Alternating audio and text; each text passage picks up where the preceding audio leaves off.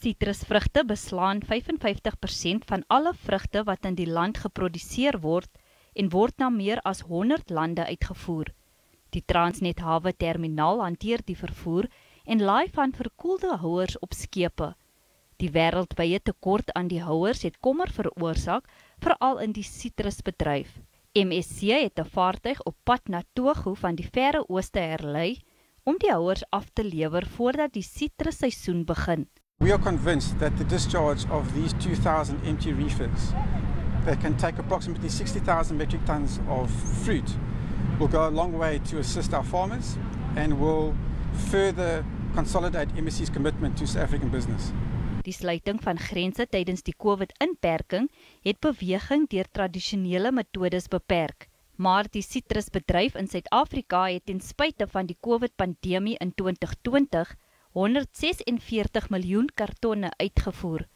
Die wêreldwye tekort aan vrieskaste is egter steeds 'n groot bron van kommer. The citrus uh, farmers are, are having less number of reefer containers. Uh, it is a problem across the country now.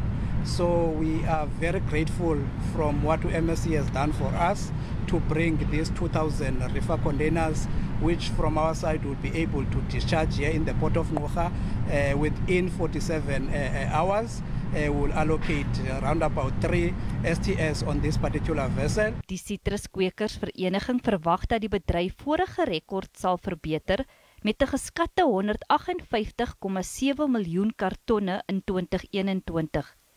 Die vooruitskattinge vir 2021 dui op 'n groei van 22% in die uitvoer binne slegs 2 jaar. The demand for our produce overseas is a wonderful testament to the quality of South African citrus fruit.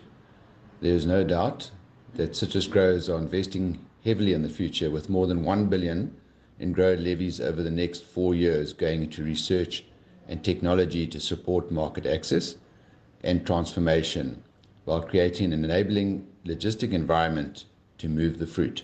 Die Ngoga vragterminaal sê hy sal voortgaan met gesprekke met MSC om nog ander maniere te vind om die sitrusboere by te staan.